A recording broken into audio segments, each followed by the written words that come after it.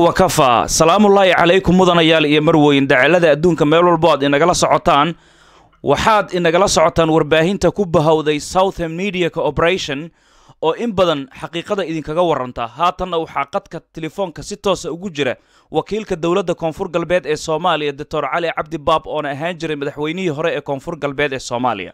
Doctor cali baab waxa uu jecel yahay maanta in uu u jawaabo xuseen maxamed caydiid oo war uu hore u yidhi haddana uu doonayo inuu shacabka soomaaliyeed ku marin habaabiyo sida shacabka ay u dhigayaan. Doctor cali baab ku soo dhowow southern media cooperation oo adigu aadan marti ku ahayn in badan oo macnuhu maanta aysan kugu horeyn bismillah waa dhowahay waana idin wada salaamay adiga farsamo yaqaanada iyo dhammaan dadka barnaamijka dhegaysanaya oo dhan assalaamu calaykum waraxmat ullaahi wabarakaatuh wacalaykum asalaam waraxmatullaahi wabarakaatu. Doctor cali baab shacabka soomaaliyeed aad ayay u yaqaanaan muuqaalkaaga iyo maqalkaagi. Warbaahinta koonfurta soomaaliya aad ayay kugu mahadnaqaysaa xiriirka aad soo siisay iyo ma arkayse waraysyada siyaasadda khuseeya ee mar walba mar walba adigu aad siiso. Doctor cali baab saaad ka warqabto xuseen maxamed caidiid oo isagu ma arkayse ahaan jiray amaba sheegtay madaxweynihii hore ee dowladda salbalaar ayaa ayaan dhoweyd waxa uu fadhi lagula kulmay su'aal lagu weydiiyey. Hadal uu yidhi labada kun iyo toddobadii mar uu hayay xilka ra'iisul wasaarenimada ee ra'iisul wasaare ku-xigeenka soomaaliya ama wasiirka arrimaha gudaha ee soomaaliya ee dowladdii uu hogaaminaya cabdillahi yuusuf ee lagu soo dhisay embagati wuxuu sheegay xilligaasi in soomaaliya etoobiya hal baasaboor ay qaadanayaan isla markaasna xuduudaha la isku furayo haatanna su'aal wiil soomaaliyeed oo muwaadina uu weydiiyey isla su'aashaasi waxa uu la jeeday waxa uu ku jawaabay in wadaninimo ay ka ahayd. Sidoo kalena wuxuu sheegay in dowladdii salbalaar uu madaxweyne ka ahaa uuna etoobiya kula diriray isagoo madaxweynaha salbalaar ah baydhabo iyo deegaanada koonfurta soomaaliya. Arrimahaasi maxaad ugu jawaabi lahayd maadaama stuudiyaha warbaahinta koonfurta soomaaliya aad si toosa ula soo xiriirtay bismillah. Marka ugu horeyso taariikhda been ma laga sheegi karo. Si walbo aada u qurxishid si walbo aada u dagooshid taariikhda iyadaa issheegta waxaana la dhahay albasan tabaqa tabaqa lisaaxibiha marka waxa waaye xuseen maxamed faarax ciidiin marka ugu horeysa waxaa rabaa inaan xasuusiyo ethoobiyaanka wadanka yaa keenay koonfurta soomaaliya specially yaa keenay. Waxaa keenay waa u s c iyo s s d f. Xuseen aabihiisaa kaga horeeyey oo ethoobiya isagaa wadanka soo geliyey maxaa yeelay hubkii iyo rasaastii ummadda soomaaliyeed ay ku gumaadayeen salbalaar waxaa soo siidaysay amxaaradaa soo siidaysay dowladda ethoobiya soo siidaysay oo ay gacansaar buuxo la lahaayeen teeda kale waxaa rabaa inaan xasuusiyo professor ciise maxamed siyaad oo markaas ahaa madaxda salbalaar waa tii uu sheegay ilaa hadda waa duwan tahay waa laga helayaa b b c da in uu ka soo dejiyey magaalada baraawe doono oo ku siday oromo. Midda kale waxaan leeyahay xuseen haddii uu xabashi kula dagaalamay deegaanada koonfureed gaar ahaan ba iyo bakool rasaasta mataqaanaa salbalaar maxay u dili weysay amxaarada? Maxay u dhaawici weysay rasaasta s n a? Maxaa rasaasta s n a ma keliya ma soomaali keliya dishaa ma soomaali keliya dhaawacda maxaa loo heli waayey dhaawac amxaar ah? Ama ama mayd nin amxaar ah maxaa loo heli waayey? Marka waxaan leeyahay taariikhda been yaan laga sheegin xuseen iyo aabihiis ayagaa wadanka ku soo hogaamiyey dadka ugu horeeyey oo soo geliya xabashi ayagay ahaayeen. Marka waxaan leeyahay taariikhda si walba loo qorxiyo si walba been looga sheego taariikhda iyada issheegta taariikhda lama dabooli karo iyada issheegta. Maxaa yeelay weli farahoodayaa ka muuqda koonfurta soomaaliya u s c s n a salbalaar waxaasoo dhan iyagay wada ahaayeen. Xuseen yani wadaniyad kama aheen markii uu lahaa hal bassabor iyo hal yani waa la isku fura xuduudda soomaaliya. Hadal dhab eh oo saxa ayay ahayd yani hadda yuusan iska dhigin nin yani nationalist eh oo muwaadin yuu iska dhigin hadal jiro oo run ayay ahayd hadda yani raadkiisa timid raadka raadkii shay uu shee mataqaanaa hadduu muuqdaa xuseen wixii uu sheegayay hadday muuqdaano isagaana yani soo saxiixay in mataqaanaa isaga ah wasiirka arrimaha gudaha in xuduudaha mataqaanaa soomaaliya iyo etoobiya la isku furo hal baasboor la qaato ninkii soo saxiixay isaga ahaa doctor cali doctor cali baab laakiin adigoo raalli ah mas'uul wax badan ka og siyaasadda geeska africa ayaa tahay xurmadna waad ku leedahay runtii. Balse laakiin xuseen caydiid wuxuu sheegay markii etoobiya ay damacday in soomaaliya ay qabsato wakhtigaas iyada isagoo xilka ra'iisul wasaarenimo ku-xigeenka soomaaliya haya islamarkaana ahaa wasiirkii arrimaha gudaha ee dowladda federaal kumeelgaarka soomaaliya wuxuu sheegay in uu iska casilay xilka islamarkaasna uu jabuuti ismaaciil cumar geelle madaxweynaha dalka jabuuti uu dhiibay baaskooladiisii eritrian ma arkaysa uu ka degay. Markasoo lama dhihi karo warka uu sheegaya ee dambe su'aashii uu ka jawaabayay in sirta etoobiya ay ka damacsan tahay soomaaliya uu fashilinay inay sax tahay. Mise waxaad leedahay xuseen caydiid haddii ay ka dhab tahay sababta ma arkayse hadday soomaalinimo ka ahayd sababta rasaastii lagu gumaadayay ciid shacabka sokeeye ee soomaaliyeed etoobiya uga soo qaadanayay islamarkaana dowladii dowladdii cabdullaahi yuusuf ee etoobiyaanka uu taageerayay ee artilleriga iyo artififeka iyo b m ka habeen iyo maalin muqdisho ku garaacaysay uu u dejiyey villa soomaaliya oo markaasi ciidamo isaga ka amar qaata haystay uuna u dejin waayey dowladdii cabdiqaasin salaad xasan oo hayb ahaan soomaalinimo marka laga yimaado ay ilma adeerar ahaayeen villa soomaaliya uu ugu diiday inay sal ka dhigato oo lambar afar tribuunka ay u degtay. Marka ma waxaad leedahay ma arkayse waa isburinayaan hadalladiisa iyo ficiladiisii? Waxaan leeyahay xuseen ceydiid afkiisa iyo dhegihiisa isla maqlaan maxaa yeelay isagaa soo saxiixay in xuduudaha soomaaliya iyo etoobiya la isku furo in hal wadan laga dhigo in mataqaanaa hal bassabort laga dhigo. Wixii uu sheegaya oo dhan isaga ahaa qofkii soo saxiixay taas waxaa caddeyn kugu filan dowladdii ay reeb ahaan isu xigeen ninkii madaxweynaha ka ahaa cabdiqaasim salaad. Waa tii uu la dagaalamay oo uu u diiday inuu dejiyo villa soomaaliya oo marka isaga yani bilalaqeyste gacanta ku hayay tan cabdillahi yuusuf oo mataqaanaa etoobiyaanka wadatayna oo u soo dejiyey villa soomaaliya. Waxaasoo dhan waxaa ku cadaynaya xuseen inuu ahaa ninkii ka dambeeyey xabashi inay dalkan timaado isaga iyo aabihiisa ka dambeeyeen dalka waxa xabashida keenay waxaa ugu horeeyey xuseen ceydiid iyo aabihiis. Laakiin soo lama dhihi karo doctor calibaab ciidamadii oromada ee marka laga soo dejiyey oo maraakiibta macnihii xuseen caydiid uu ku keenay dalka soomaaliya in ciidamadaasi uula jeeday in uu kula dagaalamo dowladda etoobiya oo markaasi uu arkayey in ay cadow ku tahay soomaaliya ayna doonayso inay soomaaliya qabsato. Mise aragti kalaad ka leedahay? Waxaan ku leeyahay ba iyo bakool iyo shabeelaha hoose etoobiyaan ma degano oromada waa tii hore aan kugu sheegay. Waxaa afkiisa ka caddeeyey oo hadda la heli karo oo mataqaana archiifka yani b b c da laga heli karo professor ciise maxamed siyaad oo ka oo ka mid ahaa madaxdii s n a ayaa afkiisa ka caddeeyey in ay baraawo iyo barka ay ka soo dejiyeen oromo kuwaasoo la rabay kuwaasoo lagula dagaalamay shacabka soomaaliyeed ee degan saddexda gobol ee la dhaho shabeelaha hoose ba iyo bakool kula dagaalamay ayaa loo keenay ee ethoobiyan ma degano ba? Iyo bakool iyo shabeelaha hoose ethoobiyan ma degano mana ka mid ahan wadan wadaweynaha ethoobiana kama mid ahan oromada waxaa loo keenay in lagu qabsado laguna xasuuqo shacabka soomaaliyeed ee degan saddexdan gobol ay hadda aan kuu sheegay saas ayaa loo keenay. Waxaana laga heli karaa hadaladii professor ciise maxamed siyaad archiifka b b c da waa laga heli karaa. Waa hadal duwan.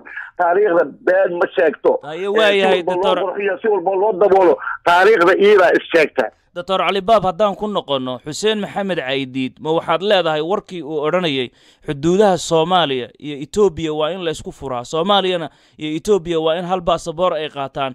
Hadalkaasi isaga ah haddii ay macnihii ka dhab ahayn oo haatan uu leeyahay hadalkaasi waa been oo waxaan ku fashilinayay siyaasadda dheer ee etoobiya hadday sax tahay warkaasi dambe ee hadda uu ku beeninayo warkiisaasi hore ma waxaad leedahay xilligii uu ra'iisul wasaare ku-xigeenka ahaa ee etoobiya artifefka iyo b m-ka muqdisho ay ku garaacaysay oo carbiska iyo villa soomaaliya uu ku soo dhoweey xilligaasi maadaama muwaadin baasaboor dalalka shisheeye uu haysto intuu xilka dhigo oo waddamada galbeedka uu ka yimaaday si xor ah xornimada ka jirta idaacad intuu tago uu u dhiiwaayo maad is leedahay. Soomaaliya etoobiya sidaasi sidaasi sidaas bay ka damacsan tahay. Xilkiina waa ka degay soomaaliya ogaada.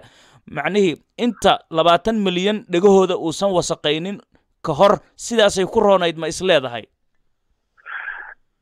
Waataan horey u sheegay. Waxaan ku yidhi xuseen maxamed faarax aydiid isagaa ahaa ninkii soo saxiixay in wada xuduudaha soomaaliya iyo etoobiya la isku furo hal bassabort laga dhigo isagaa mataqaana kumulkiga oo hadda socda isagaa ahaa ninkii soo bilaabay taasa waxa taasa waxaa daliil u ah.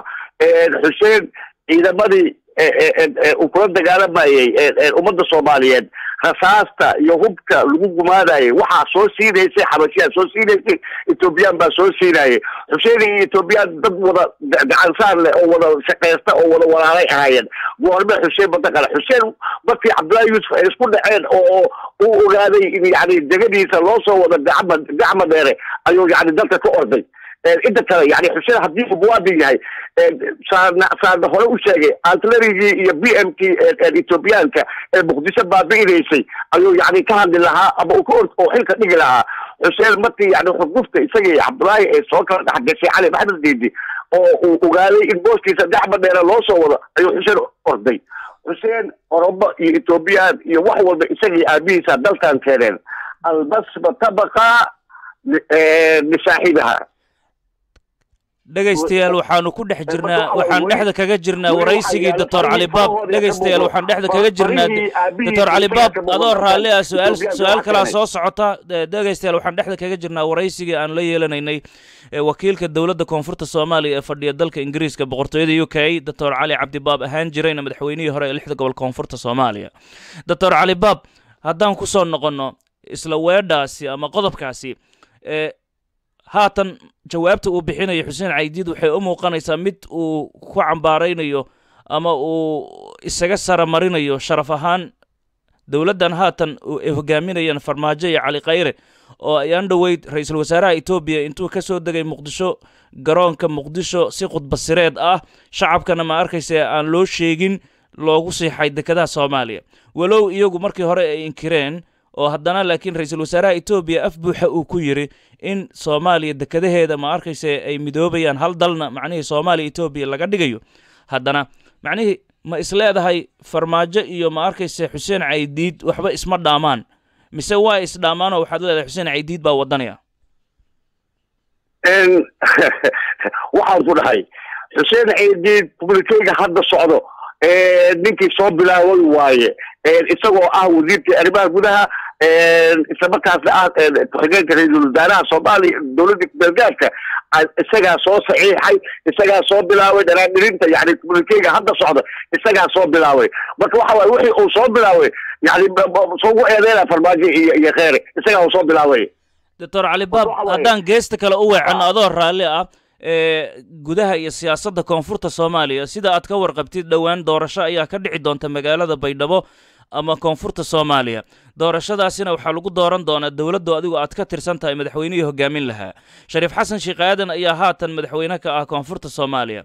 Waayahana waxaa ina soo gaadhaysaa in dowladda ingiriiska ama dalka ingiriiska aad ku nooshahay wakiilkii ama wasiirkii hore ee madaxtooyada koonfurta soomaaliya ambashator maxamed mursal uu haatan ku sugan yahay islamarkaasna isaga iyo madaxweynihii shariif xasan ay isku soo dhaceen. Haatanna uu doonayo ma arkayse in ololo uu galo si xisbi loogu taageero uu ku doonayo inuu kursiga madaxtinimada koonfurta soomaaliya uu ku qabsado maadaama ingiriiska aad joogtid dowladdii aad ka tirsan tahay arrimahaasi maxaad kala socotaa? Midda kalese mursal maxaa eedayn ah ama godob ah shacabka ay ka tirsanayaan baad og tahay? Muxuu ammaan ah ilan mas'uulku ammaan iyo dhaliil labadaba uu yeelan karaa adiga saaka marka noo aheyd annaga yani tobankii subaxnimo ayaa warkaasi isoo gaaray in mataqaanaa caawa yani uu danaynayo adiga iyo qolooyin kale inuu nala kulmo ayaa saaka aniga la ii sheegay. Balse waxa waaye hadda dahabshiil ka qaado dahabshiil u dhiib yani arrinta arrintaasi tu soconaysa ma ahan. Maxaad ula jeedaa doctor calibaab dahabshiil ka qaado dahabshiil u dhiiba maxaad ula jeedaa shariif xasan ka qaad mursal u dhiib yani mursal iyo shariif xasan maxay isdhaamaan waa dameer iyo labadiis lagood teeda kale mursal yani laakiin mursal waa nin dhalinyaro ah oo dalkan wax u soo qabtay sida dadku ay sheegayaan doctor cali baab. koonfur galbeed dhibaatada ugu weyn dhibaatada ugu weyn ee ku habsatay waa ninka yani furaha u ah dhibaatada ku habsatay koonfur galbeed maxaa yeelay xildhibaanada oo loo xulayay koonfur galbeed waa ninka selectionka ku suubinayay ninba ninku ka liitay yani ummadda u soo xulay waa ninkii yani corruptionkii doorashadii dadbaneed ee waa ninkii sameeyey yani corruptionkii ugu weynaa oo balaaqyo dharbaaxay oo yani ergooyin kala diray. Yani ummadda kala geeyey ummaddan yani isku kordhiray dhibaatadii uu sameeyey ilaa hadda yani ber loo xaliya lalayahay wuxuu ahaa ninka la dhaho mursal laakiin mursal waa nin dhalinyaro ah mursal waa nin dhalinyaro ah doctor cali baab waa nin wasiir oo dhalinyaro ah waa nin aqoon-yahana waa nin dalkan ma arkaysa ku habboon in ma arkaysa uu hogaamiyo dhalinyarada hogaamisana ku habboon. Marka maxaad eedayn oo cadow ku haysaan? aqoonta haddaysan wanaag aqoonta haddaysan wanaag ku kugu hogaaminayn aqoon ma ahan.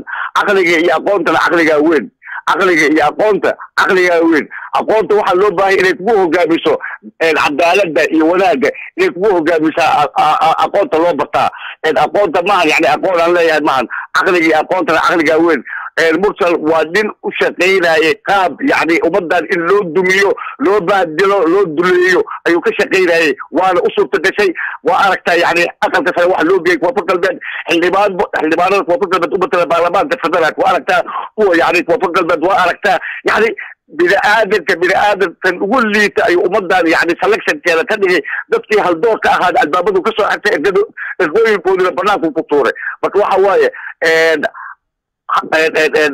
idagi allaha dego barlamaan barlamaan idagada adaa isdegay marka waxa waaye shariif iyo iyo mursal waxba isma dhaamaane waxaan leeyahay yani qus qaado cibku dooran mayse haddaan ku soo noqonno isla shariifka maadaama adigu aad tiri wakiil shariif iyo mursal waxba isma dhaamaan haatan waxaa jirta in doorashadii ay soo dhowaatay saa ka warqabtid dowladda aad ka tirsan tahay madaxweynaheedu waxa uu doonayey doorashada soo socota in lagu qabto magaalada baraawe oo ah xarunta rasmiga ee dowladda koonfurta soomaaliya. Arrintaas iyada ah waxaa ku gacan saydhay dowladda ma arkayse federaalka soomaaliya oo waxay tiri waa in doorashada lagu qabtaa magaalada baydhabo.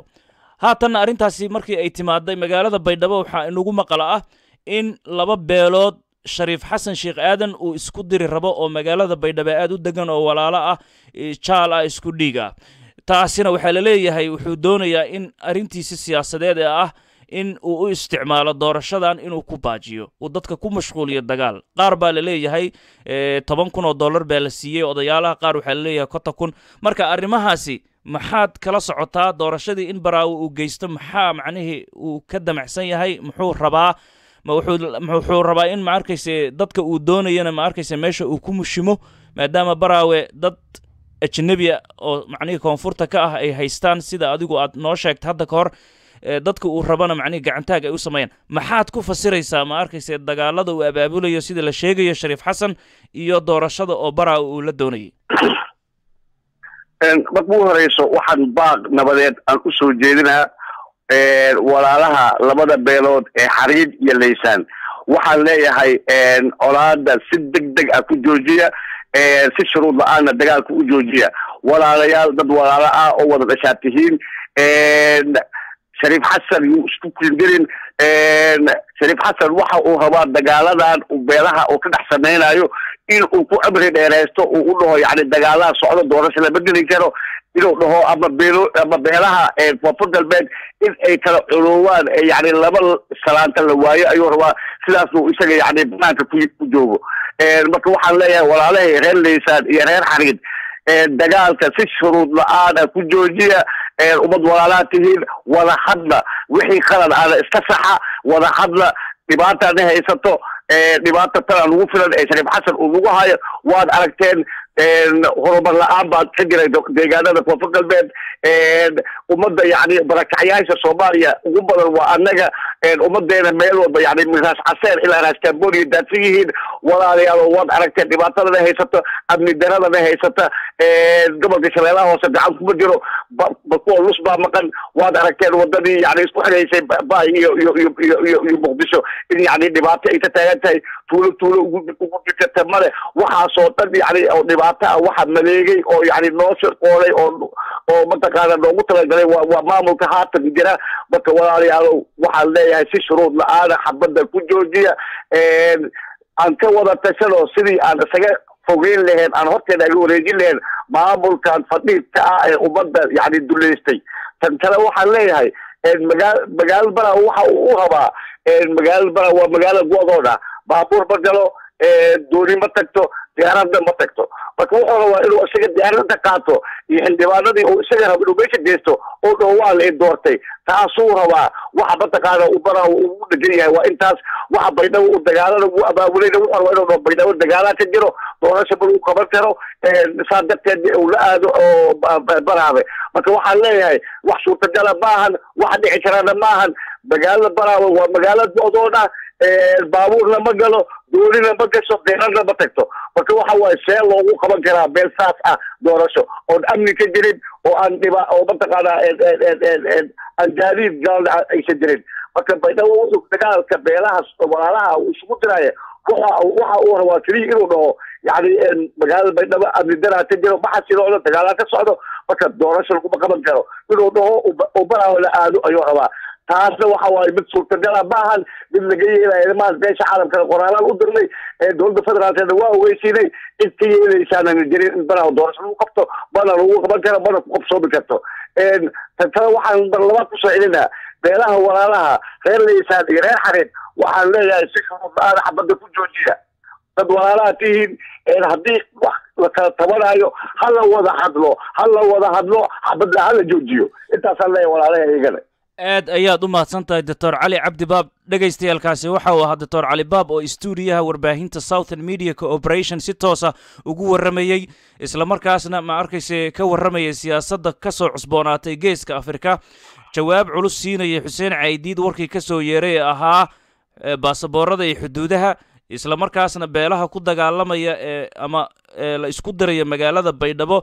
Shariif xasan uu abaabulaya sida la sheegay iyo doorashada baraawe iyo mursal oo isaguna doonaya in ma arkayse guddoomiye ama madaxweyne ka noqdo koonfurta soomaaliya taageero raadinaya. Doctor cali baab aad ayaad u mahadsan tahay waraysiga aad siisay southern media cooperation idinka aada u mudan aada iyo aada umahadsan tihiin. Kulankan kulanka xigana ee dhegaystayaal inta aanu ka kulmi doonno ballantannada waxaa weeye nafta la isu dhiibaye la isma siin haddiina la kala qaato idama le ee janatulfardowsa fardowsa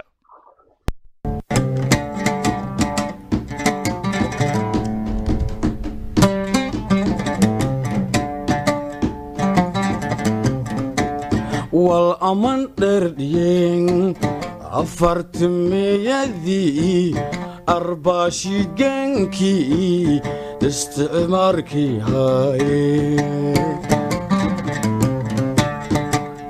Doruntawisa argoosagaas alla hagshiime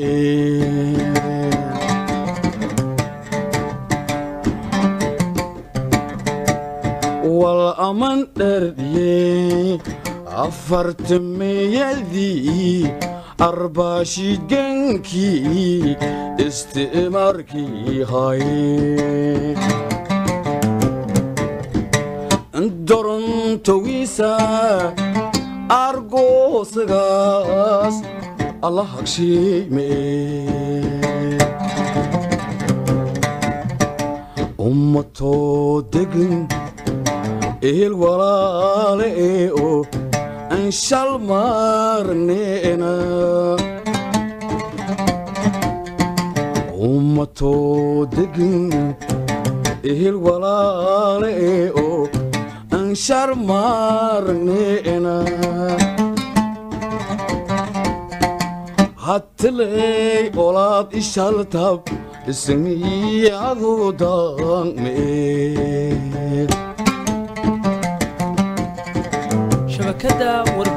hattiley olaad ishaltab ismiyadudangmee waa yeel olaad damyeema ma abaabulayoe waa yeel olaad damyeema ma abaabulay ebbey ku obsada oo loga hagshee'i islaamnimada dhoora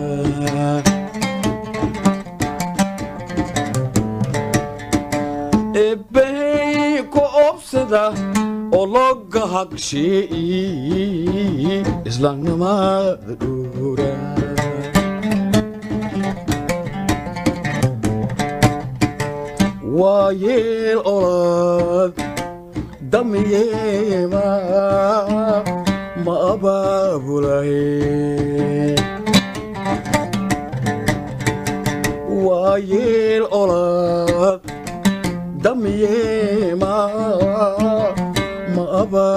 abaabulayo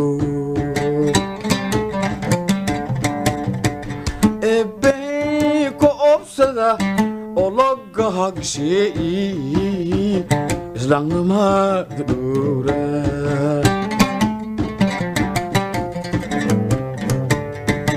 ebbey ku obsada oo loga hagshee'i islaamnimada dhoora islaamnimada dhoora islaamnimada